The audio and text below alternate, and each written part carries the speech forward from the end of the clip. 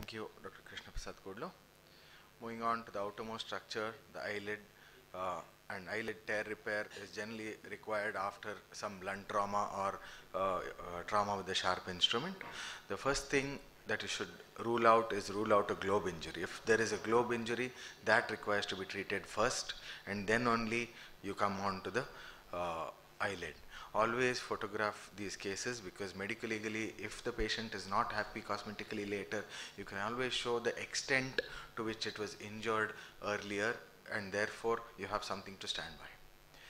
Uh, there's no debridement necessary only if it's grossly necrotic do you have to debride the wound otherwise just betadine cleaning with removal of foreign uh, dust particles which are frequently there is all that's required. So you can either have a partial thickness tear or a full thickness tear involving the lid margin. Partial thickness tears are pretty easy to suture. They involve the anterior lamella. Just uh, uh suture them in layers uh, by using uh, interrupted uh, sutures. The first layer, like any other uh, skin wound, would be buried subcutaneous buried subcutaneous sutures, followed by more interrupted sutures at the superficial level. Full thickness lacerations if uh, most frequently involve the eyelid margin if not always. And eyelid margin uh, involvement is very very crucial because later on if you do not uh, follow uh, certain principles there can be uh, notching of the lid which is disturbing cosmetically. So basically you have to align the eyelid both in the vertical as well as the front and back uh, directions. In both axes you have to orient it. You start by looking at the landmarks that is the eyelash line, the gray line and the uh, orifices of the meibomian uh, glands at the lid margin. So once you do that you align uh, these and then you pass a vertical mattress suture through the central portion that is the gray line.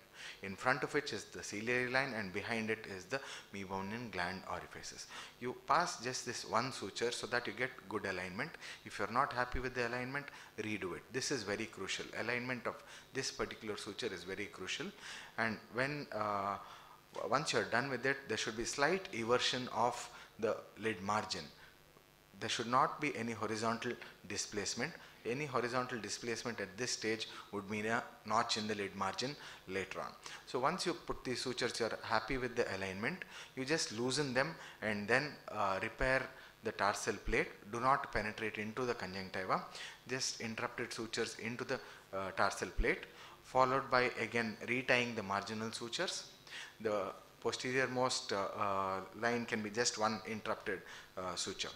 So after that you go back to the anterior lamella with the same thing I mentioned earlier, a buried subcutaneous suture as well as a superficial suture.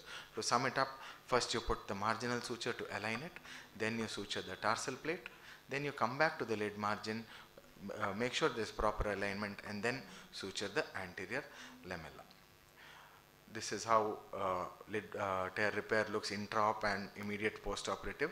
Make sure that these sutures at the lid margin are left pretty long so that they do not abrade the sclera and cornea giving rise to discomfort post-operatively.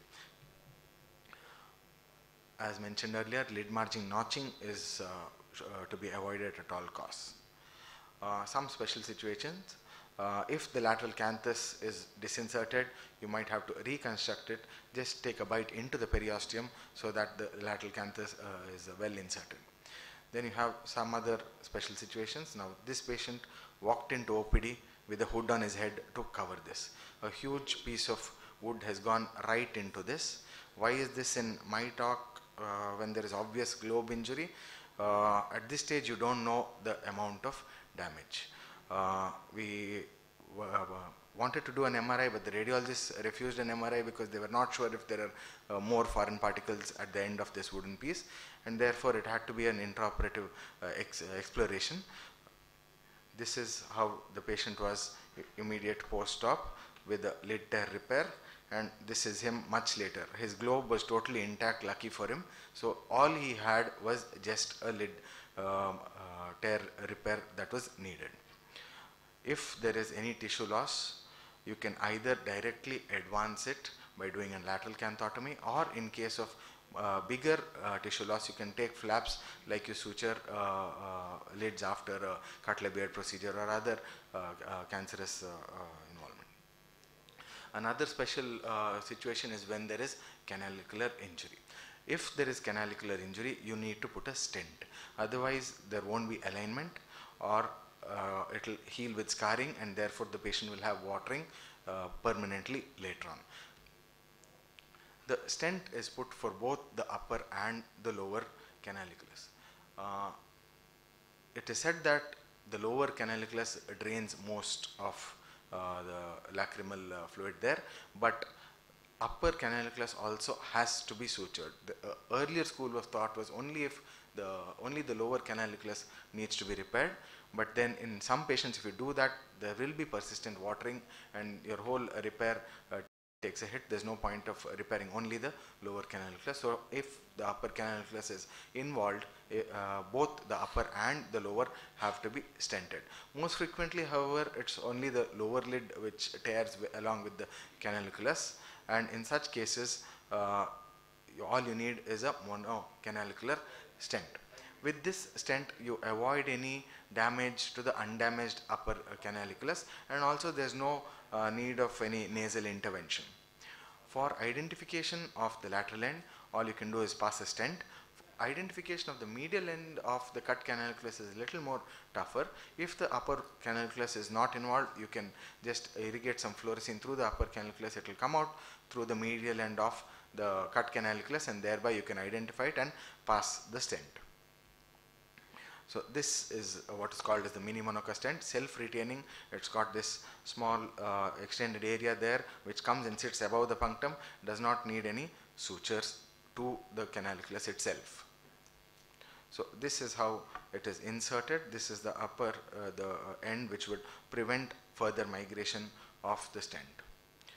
This is with it in place. Another uh, clinical picture. Here the uh, uh, punctum is here, the canaliculus is damaged. That is first passed and followed by the lid suturing. Actual suturing of the canaliculus is not uh, really required when you pass such stents.